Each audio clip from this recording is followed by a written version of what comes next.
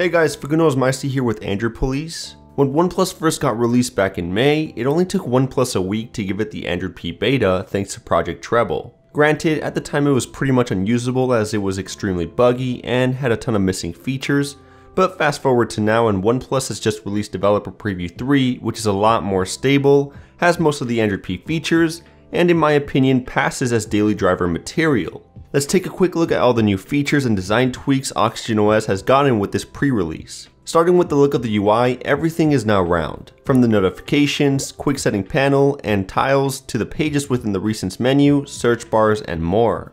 Plus there are some color changes including the icons within the settings, and the shelf panel within the stock launcher. Like stock Android P, OnePlus is also aiming to make all system icons outlined, with some being circled, but that is still inconsistent in some spots such as the icons in the quick setting panel, which are still filled in. They're probably going to fix this in the next release. They also tweaked the look of the volume and power menus. They look and work the same way as the menus found in Android P on the Google Pixels. The Recents page has gotten a complete overhaul. It now uses horizontal scrolling instead of vertical and app previews are now much larger. To close an app, you can swipe up on it, and to clear everything, you can tap on the X button. The interface for triggering split screen has also been redesigned, and it's a lot more convenient to use than the old interface on Android Oreo. It's very similar to the Google Pixel, with the only thing missing being the app drawer. Android P on the OnePlus 6 also brings the Google Pixel's new alternative navbar. It's gesture enabled so you can swipe up on the home button pill to bring up the recents page, pull back on the home button to quickly scroll through your previously open apps, Swiftly swipe right to switch to your previously used app, the back button only pops up when necessary, and if you have auto rotate disabled and you turn your device to landscape or portrait, a small button will show up offering to change the rotation. Unfortunately, there's no quick option to enable this new navbar in the settings, you'll need to use ADB to enable it, and once you have it enabled, you can't use a third-party launcher.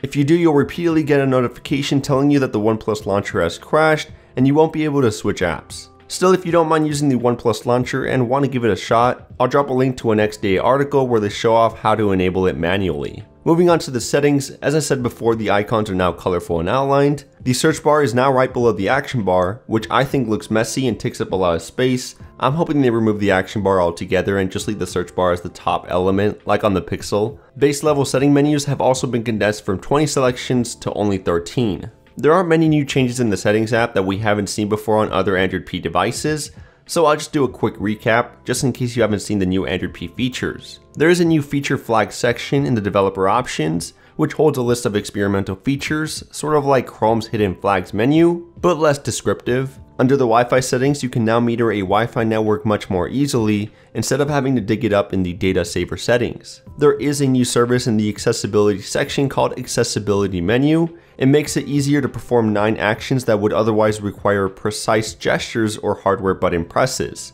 perfect for those who have a motor impairment. Do not disturb mode can now do a bit more, but the option to enable it by pressing the volume down key or by using the alert slider has been removed. Still, it can now be scheduled to turn on which wasn't possible before on OnePlus devices, and it can now completely hide most notifications in your notification shade. The battery section looks very similar to the Pixels, the only difference is that you can still see the per app battery usage data. I also like how it tells you how long the phone will last based on your usage and what background apps are using large amounts of battery. Battery saver can now be set to trigger from anywhere between 5% and 75% battery. The only features that don't currently work are the screen usage data and last full charge data. In the notification settings, you can now easily track which of your apps have recently sent notifications, and the About Phone menu has a different looking interface, as well as the Android P Easter egg. There are some other smaller features worth noting, like you can no longer reorder home screens on your OnePlus launcher. When opening a game, gaming mode will be more aggressive when letting you know when it's activating. The next alarm and muted slash vibrate ringer status appear at the top of the quick settings panel. Replying to a notification no longer dismisses it, so multiple replies are possible. The Bluetooth icon will only show up in the status bar when you're connected to a Bluetooth device, otherwise it'll disappear even if Bluetooth is turned on in the settings. There are some sweet new animations sprinkled throughout the UI. Text selection now has a zoom lens, which surprisingly is another feature OnePlus devices have never had. The unlock pattern now fades as you swipe, and lastly the USB menu is now a full-fledged menu instead of a pop-up when you connect your device to your desktop. Those are most of the main changes I have found on the OnePlus 6 running the Android P beta update. Of course there are smaller hidden features and under the hood changes that I left out, so if you want to know every new Android P feature then check out this article by Android Police I'll leave a link right below that like button. I haven't experienced too many bugs on OnePlus's latest beta. I only experienced a few freezes and force closes when I manually enabled the gesture navbar. That's probably why OnePlus didn't add an option in the settings to enable it just yet, but other than that, this build is definitely usable. I'll drop a link to the latest flashable zip down in the description. Either way, that's it for this video. Let me know in the comments what you think about the Android P beta update on the OnePlus 6.